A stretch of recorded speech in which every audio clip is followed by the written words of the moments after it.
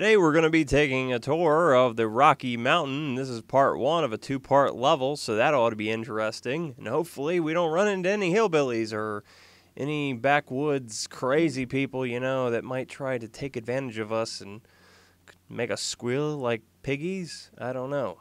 But today we have a tour guide named Jim Bob. So, hey, Jim Bob, go ahead and introduce yourself to the people.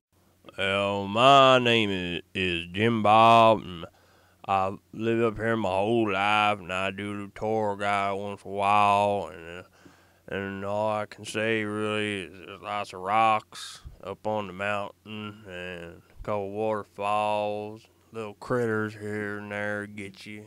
Whoa, whoa, did you actually see that bald guy carrying a stick over there? No, didn't see no bald guy. I could have swore I seen it. Wait, wait a second. There he is again. I don't know what you're talking about, but there is a legend of a crazy old hermit that lives up and around these parts. That might be who's following you. He's real good at that rock, paper, scissors. Oh, wow. Well, I guess I'll have to verse him to see who the better rock, paper, scissors player is then. Good luck. All right, I'm going to go off with rock right off the back because we're on the Rocky Mountains. And you know that's going to work. Oh, check it out. Only need one hit, boom, dead. Or flopping underneath of an iron, whatever you want to call it. So, thank you for visiting the Rocky Mountains with me today. And make sure to subscribe if you want, like if you can. This is Mason, and I'll talk to you next time.